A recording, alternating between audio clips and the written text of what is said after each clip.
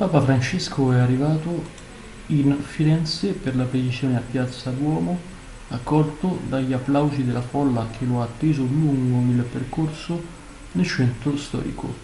La Papa Mobile si è fermata a fianco del battistero, accolta dal suono delle chiarine di Palazzo Vecchio. Una visita importante quella di Papa Francesco nel capoluogo toscano Firenze. L'arcivescovo di Firenze, tuttavia, ha accompagnato il Papa all'interno del battistero dove Francesco si è soffermato dinanzi alla crocifissione bianca, il dipinto di Chagall esposto per l'occasione. Dopo aver attraversato l'uscito dal battistero, dalla porta del paradiso, prospicente la gradinata, la gradinata del Duomo davanti al quale il Papa è stato accolto dal cardinale Angelo Bagnasco presidente della CEI, in cattedrale il Papa parla partecipanti, ai partecipanti del convegno ecclesiale italiano.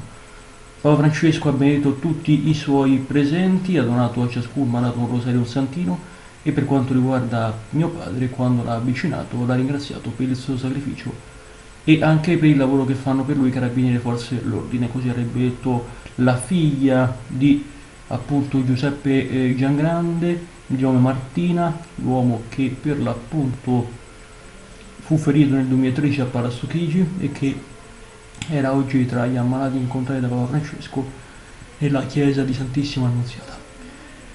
Sono anche molto contenta, avrebbe aggiunto Martina, che mio papà abbia potuto stringere la mano al Papa, una cosa che gli ha fatto un immenso piacere. Non dobbiamo essere ossessionati dal potere anche quando questo prende il volto di un potere utile e funzionare all'immagine sociale della Chiesa. Se la Chiesa non assume i sentimenti di Gesù si disorienta, perde il senso. Lo avrebbe detto Papa Francesco al convegno della Chiesa italiana. Disinteresse, umiltà, beatitudine. Questi, ha detto Papa, i tre tratti che voglio oggi presentare alla vostra meditazione sull'umanesimo cristiano che nasce dalla umanità del Figlio di Dio.